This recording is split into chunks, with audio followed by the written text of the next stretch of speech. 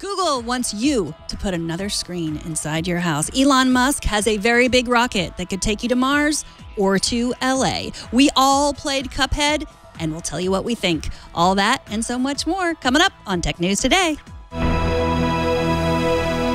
This is Twit. Bandwidth for Tech News Today is provided by CacheFly at C-A-C-H-E-F-L-Y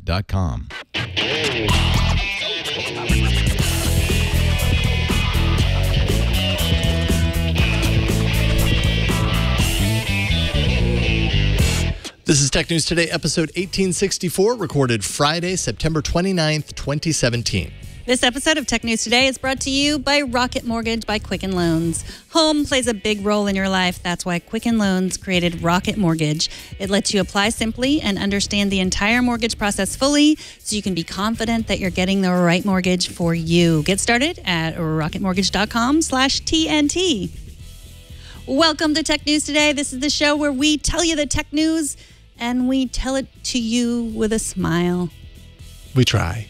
We're going to tell you about this tech news. I'm Jason Howell. I'm Megan Morrone. Should we get to telling? Yeah, let's get to some telling. All right, let's do this. Security firm Duo showed its research at the Ekoparty Security Conference that demonstrates how the firmware on a large number of Macs isn't getting, haven't been getting any updates, either due to a lack of updates being offered by Apple or due to a silent failing uh, updating procedure happening in, in, the background. Apple's EFI, which stands for Extensible Firmware Interface, runs prior to the operating system boot up process.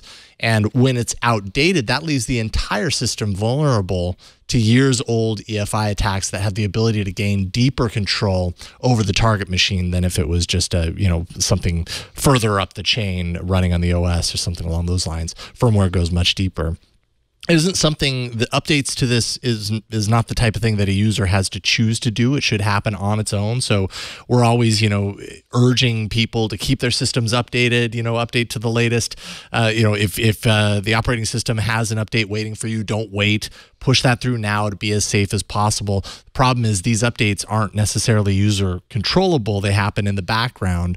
And uh, if they're not happening, that just leaves wide open holes uh, potentially for a lot of bad stuff to happen on the machine. Yeah. And the worst part about this is that they don't know. They think, you yeah. know, it says your system is up to date. It's super dangerous for uh, organizations, enterprise, small businesses, big businesses, um, especially users with high security clearance or access to sensitive information. This is really dangerous. I mean, with the Equifax hack, we were talking about how if they'd only gotten their their updates, like they knew that they weren't, you know, they they knew that they weren't updated. The mm-hmm. Windows was telling them. Mac is not saying that they're not updated. This is uh, this is a, a, big problem. It's it to be fair, the study says that it is also a problem for Windows. Mm-hmm. Uh, that this just was a study they did on Macs only. They're not saying like that Macs aren't also uh, don't have similar problems with EFI firmware. Um, Windows computers are even more likely to be at risk, and more, it's yeah. riskier because there are more of them in the enterprise. Right. Yeah, and all sorts of different uh, different ways that they go about kind of locking this this part of it of the firmware down. Uh, the study itself, they didn't actually go in and analyze all those things, but yeah, they were kind of positing it's probably a whole lot worse over there. In the case of this particular study, seventy three thousand Apple machines were analyzed. Of those, 4.2% of the Macs that were tested had the wrong EFI version paired with the operating system version. Uh, so, in other words, the software update happened, but it failed to actually update the EFI as it should have. Uh, just some examples 2015 uh, 21.5 inch iMac models had failed EFI, EFI, updates on 43% of the machines that they tested. Uh, 25 to 30% of the 2016 MacBook Pros had failed EFIs and uh, basically there's you know there there is malware that can check to see if an EFI is outdated. And if so you know they they can gain full, full control and you would never know. Mm-hmm. so it's not a not good at all. Duo labs does say and if you uh, they have a github page they say that they're near release of a tool that can check your efi uh, to see kind of what the status is on your efi it's called efi g or EFIgy uh, and there's a kind of a parking place on, on GitHub for that. So they say it's coming soon uh, to check back for that so that you can check the status of your EFI. Sources tell TechCrunch that Google is working on a home assistant with a touch screen, like the Amazon Show, which would explain why they cut off Amazon's access to YouTube this week through the Echo Show.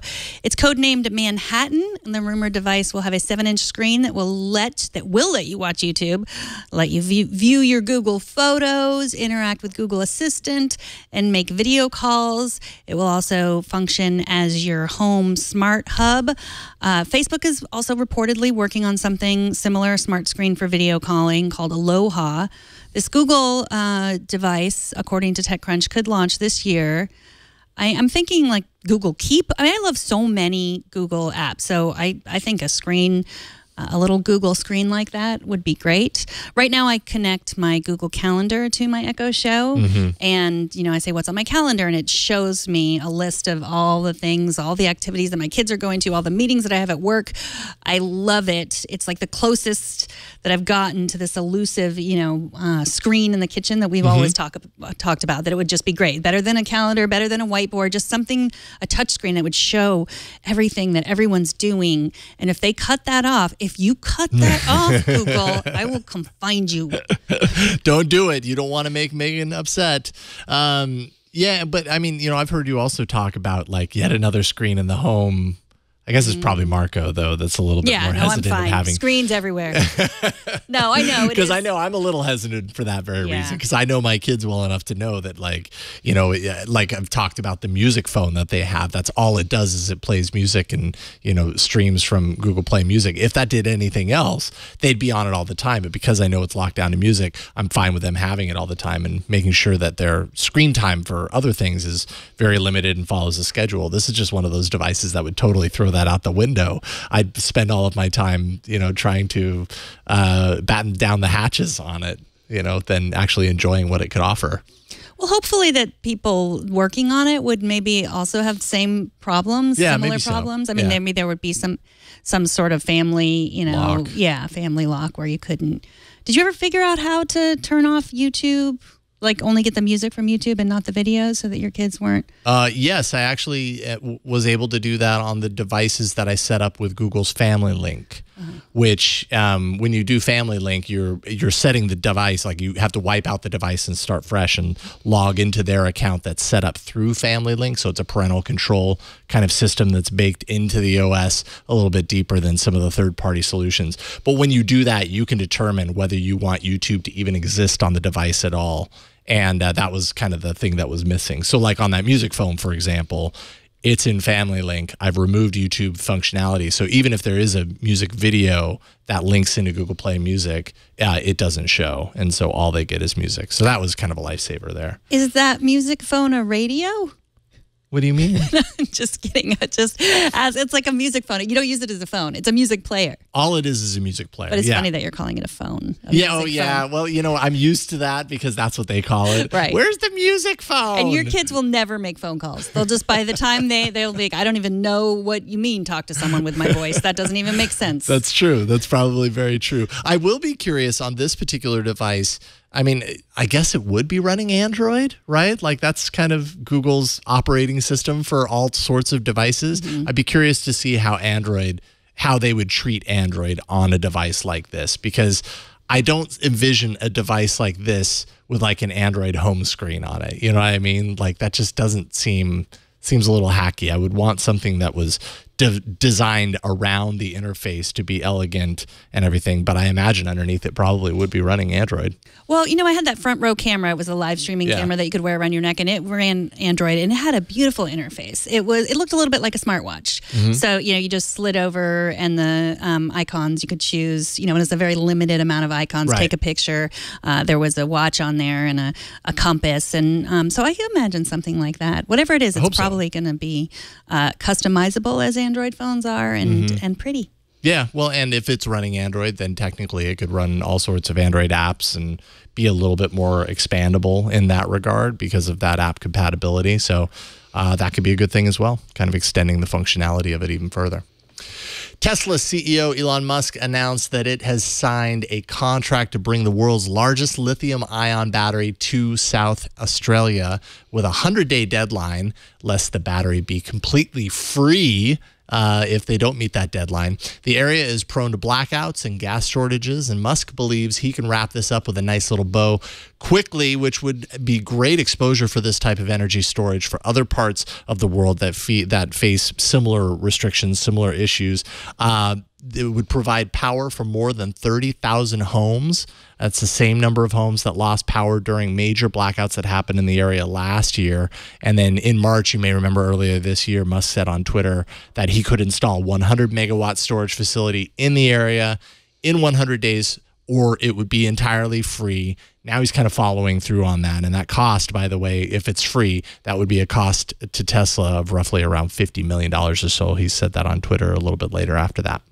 Yeah, this uh, they're racing to beat the summer, the Australian summer, yep. which starts in December. So um, they really want to get that up and running. I think I think he can do it. Yeah, I, think, he can too. This and Mars, which we'll talk about next. Um, but yes, getting getting to it in time for the summer, which is when all of that stuff happens. Uh, you know, the the potential faults can happen. Uh, he says 50 megawatts are already on this on site and in place. So I think it's very likely to happen if, if kind of half the job is already taken care of and they've only just now started uh, the 100 day countdown uh, deadline. But that's just because they've signed the contract. So now he's basically put his money on the line and said, and I guess uh, Tesla beat out 90 total bids uh, for this energy storage. So him saying that was obviously a part to, a part of his way, Tesla's way of backing that up and saying, "Hey, we want to be the one to show the rest of the world uh, how you can how you can better plan for this and you know use their batteries in the process and uh, do some really cool things. I guess in the island of Kauai, they're also uh, playing around with this 272 Tesla battery packs there that store energy for use at nighttime. And I guess it's cut down on a lot of the, the cost that was associated with that prior. We should probably go to Kauai to, to, to test it. Yeah, to do some real journalism. All right, let's mm-hmm. take the whole company, everyone, everyone to Kauai for this very important story. Awesome. also, at the International Astronautical Congress this week, Musk announced his grand plans to get to Mars in giant reusable spaceships in the next five years. In the same announcement, he detailed city to city rocket travel on Earth. The rockets, called BFR, will hold a bigger payload than any other rocket before it. Musk insists they'll be capable of hoisting spaceships shape, spaceships into the air to transport you from LA to New York in 29 minutes or anywhere in the world in under an hour for the same price as an economy ticket on an airplane. Uh, BFR, just so you know, does not stand for Big Friendly Rocket. That's not what it stands for. big friendly rocket. I'll let you uh, guess what it stands for. Uh, also included in his master plan uh, was a moon base, and he showed off some uh, prototypes of what that might look like. Uh, he he says these are aspirational claims. Um, so, but he's he's done he has done as many amazing things as he's made as many amazing things happen as things that he's said he would do. Like I think in equal parts, like the reusable yeah. rockets, the SpaceX reusable rockets are amazing. No one can doubt that. And you know he's said a lot of other crazy stuff. Um, so you never know what he's going to do. Um, engineers uh, have been pressure testing them in the ocean. So. Uh, I don't know. Would you want to fly in one of these pressure tested BFRs? Yeah, I'd be in a big rocket. Uh, sure. That sounds like a lot of fun. I, I would absolutely do that. If we were going to Mars, let's say, let's just you know take a trip to Mars.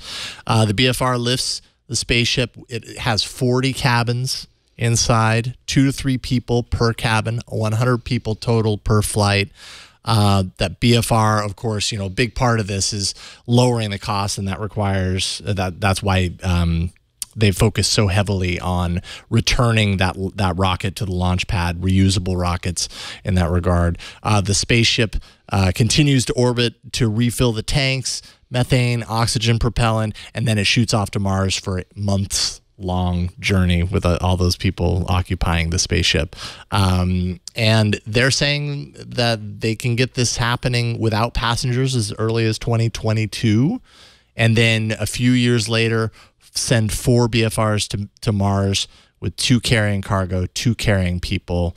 So 2024, that's seven years away. Mm. Um, in, in a mere seven years, uh, we might be witnessing people shooting off to Mars. Well, uh, Beatmaster in our chat room wants you to go. He says, "Get your mask to Mars." Jason. Thank you very much. I appreciate the uh, the Arnold reference. Um, as for Earth travel, New York to Shanghai in 39 minutes. Basically, he said Musk said any two points on Earth would be less than one hour apart. That is awesome. That is so cool. If your brains didn't turn to jelly, it is definitely awesome. Let's hope that your brains don't turn to jelly. That would be a horrible side effect. Mm-hmm. But I have faith. I as, have faith. As side effects go, it would not be a good one. not very high on that list. After the break, Sam Machkovech is here to tell us why everyone is fascinated by a new character who has a cup for a head. But first, let's take a minute to thank Rocket Mortgage, the sponsor of this episode. If you have bought a house anytime in the recent past, and if you've needed a mortgage uh, because you didn't have all that money sitting around in your mattress, then you know that the mortgage process was not keeping up with the times.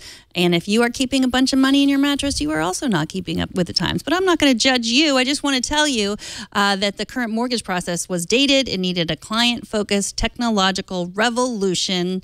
And that, my friends, is why Quicken Loans created a Rocket Mortgage. Rocket Mortgage gives you the confidence you need when it comes to buying a home or refinancing your existing home loan. It's simple allowing you to fully understand all the details and be confident you're getting the right mortgage for you. It's convenient. Their trusted partners allow you to share your financial information with Rocket Mortgage at the touch of a button. It's powerful. So, whether you're looking to buy your first home or your 10th home, Rocket Mortgage is able to perform thousands of calculations in just seconds. Your mattress won't do that for you. Based on your income, assets, and credit, Rocket Mortgage can analyze all of the home loan options for which you qualify for and find the one that is just right for you. Rocket Mortgage by Quicken Loans. Apply simply, understand fully, mortgage confidently. To get started, go to rocketmortgage.com slash TNT. That's rocketmortgage.com slash TNT equal housing lender licensed in all 50 states, NMLS consumeraccess.org, number 3030. And we thank Rocket Mortgage by Quicken Loans for their support. Everybody, I mean, I mean everybody. Everyone. Been, everybody's been talking about the new game Cuphead, inspired by 1930s cartoon art. As per usual, we reserve judgment on all video games until we talk to Sam Machkovech from Ars Technica. Welcome, Sam. Don't don't let them say anything bad about you. You're as beautiful as what did, as as. Sorry. Okay, that's what, what did you do to that thing? That's I'm loving it. Anyone who's listening as opposed to watching just missed me cuddling with my new Super Nintendo Classic, which we will talk about in a bit, I'm sure. But there's another equally gorgeous thing. Indeed, Cuphead is out finally. It's been teased and talked about for years, but this platforming cartoony game exists and it is gorgeous. Uh, anyone watching the video version of this will be uh, lucky to see video footage of the game running, but they're not going to hear the audio with it. And this is truly a 1930s cartoon in terms of sound and motion combining to incredible effect. Uh, now, as a video game, it plays essentially like a, a, platformer with gunning. So I like to think of Mega Man as sort of the perfect example of where you have to run around and there's tough stuff happening and you have to shoot a little gun in order to win against incredibly tough enemies and really tricky platforming. Uh, it's all being done in this game uh, in a style of, I'd say, a very early um, Looney Tunes or Merrie Melodies kind of styled uh, cartoon. Uh, Bosko is one of the uh, cartoon series that I think of a lot with this, although this is color. Um, just gorgeous. Every single moment you play it looks wonderful, which is good because it is also really hard. This game could only take you about an hour and 30 minutes to beat if you are the greatest video game player ever. However, this is tough as nails, perfect, precise kind of gameplay stuff. Um, and as a result, you're going to replay each level if you want to truly beat the game on normal difficulty. You're going to play each level up to 80 times in order to beat it. 80, 8 0 that is the amount of, of tries that both myself and Ars Technica's Kyle Orland went through to beat some of the game's bosses. The game is now, unlike some other um, Mega Man and Super Mario styled games, its focus is mostly on bosses. And I think they do this because beautiful hand drawn bosses look way cooler for the style of game that Cuphead does.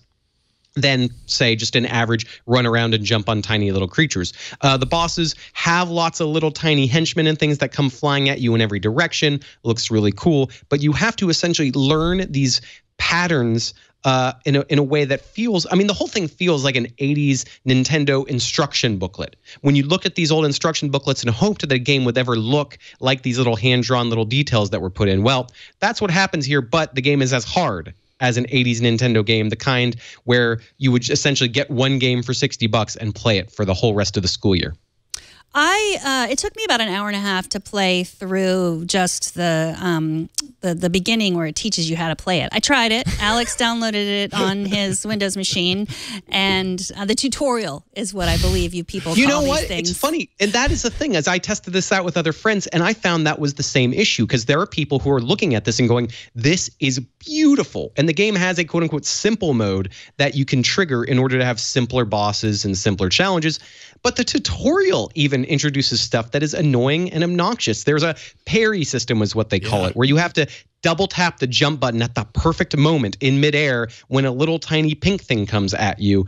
Uh, there's the dash maneuver you have to use to sort of bounce around. It's just, there's a few too many buttons, I feel like, to make this as accessible as I think we all kind of hoped this would be. This is not the ultimate beautiful cartoon game that anyone can jump into just because they think it looks good. No, this is a game that looks really good because you're going to be looking at it a lot if you actually invest in it. It's hard. You're going to be listening to the songs and playing through the levels over and over and over. And so the beauty and the presentation are there to help you uh, suffer.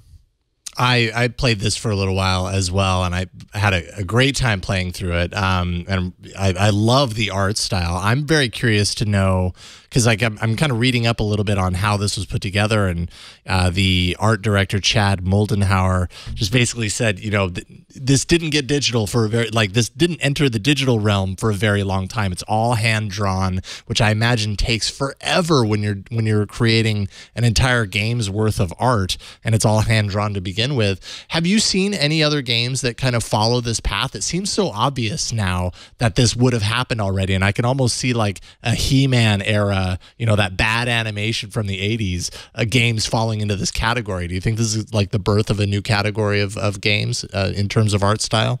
if it makes money, yeah, but it's really hard to do yeah. hand drawn everything because again, they aren't doing sort of the cheating that you might expect from right. something like He Man. He Man went pretty cheap route and also used you know terrible overseas labor. Don't ever read up on that if you ever want to feel good about yourself. Um, it, it there's a lot of work that goes into making a video game look like an instruction manual in your mind from the 80s. So if this one indeed makes money, sure. I think we've seen um, in the retro phase of gaming kind of the opposite, where people have said, no, we're going to go with pixelation and sort of simpler stuff to get games done more quickly. This one took three or four years and is it's only 20 bucks. I yeah. mean, I almost think that they should just charge you to watch it on YouTube. Like you should just be able to pay five bucks and watch someone else play it just to enjoy it as, as a short film. Because again, not only is there beautiful stuff and music tied in. There's also uh, a lot of cute story and elements like that where the, there's lots of little jokes that are scattered around the entire time. Every time you die in a boss you get a different one liner making fun of how you lost because there's so many different ways in which you can lose in these boss battles that they keep track of it. They've really built the whole thing for you to get into it and be immersed. If I was 8 years old, 12 or even 15 years old, this would be my game of the year hands down. As a grown-up, I don't have as much patience for this, but I will say it's fair in its brutal difficulty. If that sounds anywhere near interesting to you, grab it. Otherwise, head to YouTube. I really like the music as well. Um, I I think, and you can buy the soundtrack. Oh, that's what yeah, I was going to say. You, I, like you a, can buy it for ten bucks. Oh. Uh, I can't remember. I I don't have a link handy, but I do imagine if you just type Cuphead one word and then soundtrack, it should be the first thing that pops up. Oh, so excellent. definitely, if you like that '30s big band jazz style, uh, it's really really great soundtrack. Yeah, I'm just warning you. Uh, it's not like watching cartoons in the 30s like we all did in the 1930s. Um, it's a little harder than that. Yes, yes. Also, there's um some. Just kidding. Special- I wasn't alive in the 1930s, Sam. You might have had, you know, someone who talked to you about it okay. in the good old days. Um, yes. Okay, so let's let's get to your rant, uh, your your weekly rant. You wanted to talk about loot boxes. What are loot boxes? Why do you think they've reached a new low? I, I, love that you say my weekly rant like I've got the sweet soapbox, although it's true. Uh, also, we're not talking about, you know, a lute like that, a little instrument. We're talking L O O T, loot boxes. Oh, I wish it was become, a loot box. Uh, yeah, that'd be great. And in fact, if someone makes loot box or loot crate with the musical thing and maybe like it comes with a little plastic recorder, I would buy it no questions. But loot boxes or loot crates in video games have become a lot more prominent in recent years. They've been around for some time. Some people tie them to MMO games from the late aughts and early teens. Other people mention Team Fortress 2. But the idea is that we're combining real money, virtual items, and random chance. So you go into a game and it says, oh, here's a free random item. And you tap it and a little flashy animation plays and out pops a new costume for your favorite character or a graffiti spray that you can tag on the wall of an arena that you're fighting in and so on and so forth. And then it says, oh, if you want more of this kind of stuff, you can either play a lot of the game to earn them slowly or you can pay us cash to get these virtual items a lot more quickly. Now, paying for virtual items has been around a lot, but it's this extra randomization that really adds this slot machine sort of crap to a video game and to the feeling of a video game. Now, uh, Forza Motorsport 7 just is has just come out in a quote unquote deluxe version, meaning you can pay more now to play it immediately, or you can wait another like four days to pay less money for the normal version. That's another thing that annoys me, where they're charging you more to play early. But yes. in addition to this $60 or more retail price, you can also now get into a driving games loot boxes. Uh, these are called prize crates inside of Forza Motorsport 7. Here's the problem.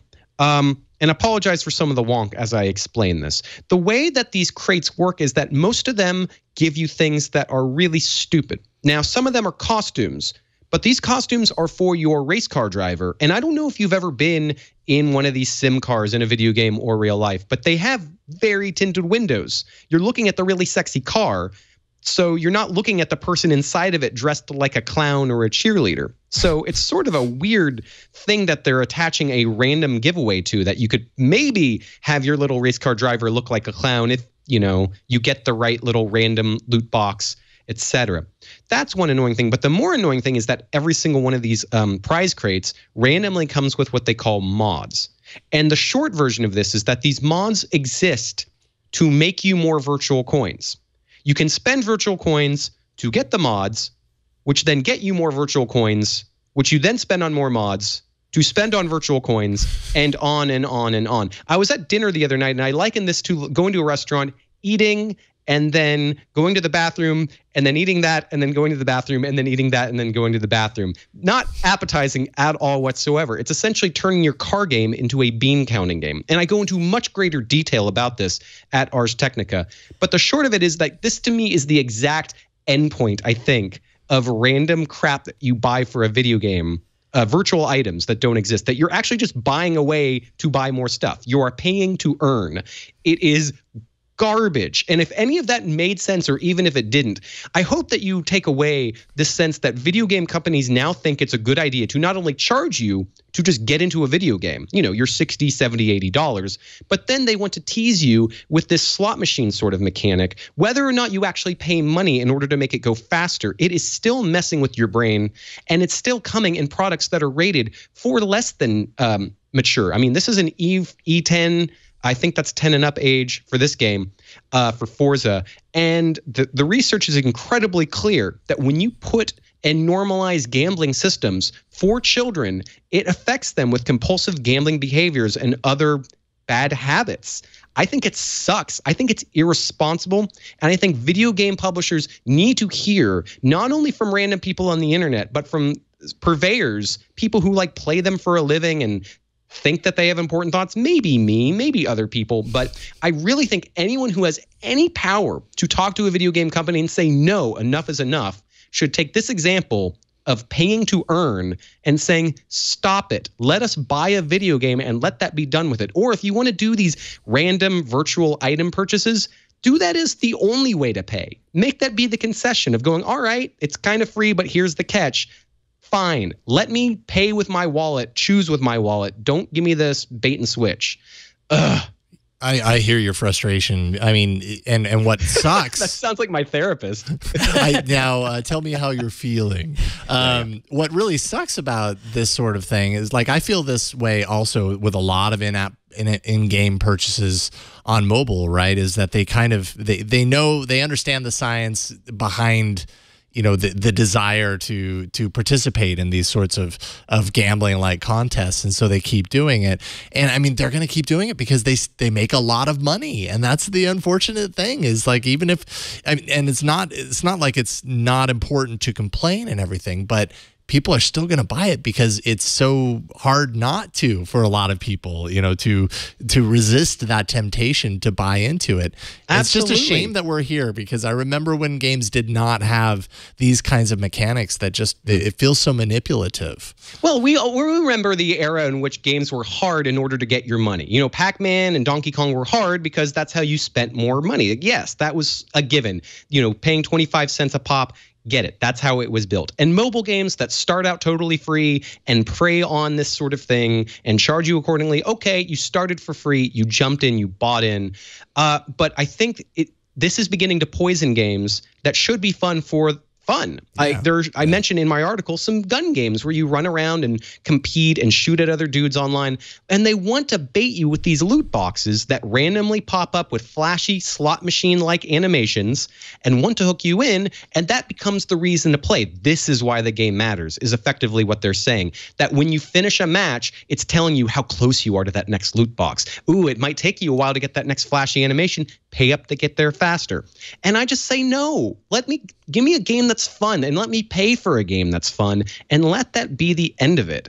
Um, and I just I just think it's poisoning reputations and it's poisoning our feeling about games and it's gonna wear people out.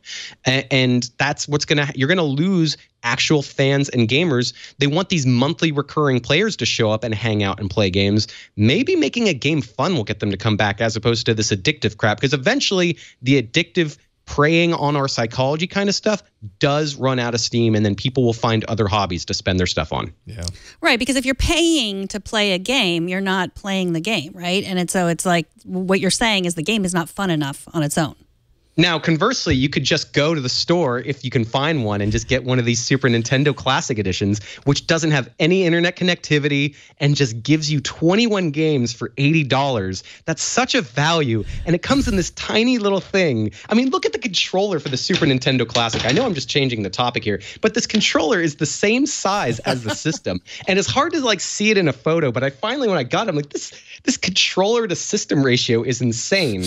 Um, I don't know if you guys have any thoughts on this, if you've already gotten to check one out yourselves, but I finally I went and picked one up because I'm not as cool as Ars Technica's Kyle Orland. I didn't get one early, but I haven't even plugged it in yet. I just got back from Best Buy where I uh, pre-ordered mine somehow, uh, and it's a really solid construction and it plugs in real easy. Although it's really funny, it actually has the same chipset as the NES Classic, pretty much identical. Someone took the Super Nintendo one apart, and all they've done is just change out the little shell around it. So if you get one of these, you essentially kind of get the same thing, just with different games in the chip. But you know, hey, this is not bad. You know, it, it may not. There may not be enough of these to go around. They may be selling out left and right, but you know, hopefully they're actually making good on their promise of making enough of these so you don't have to go to an eBay scalper and hang out with your precious Super Nintendo Classic Edition. Comes with two controllers, by the way. I swear, I'm not a shill for Nintendo. I just think it's a nice segue to have something that doesn't connect to the internet and just says, here's games, here's fun, go do it. And did you have to wait in line for it?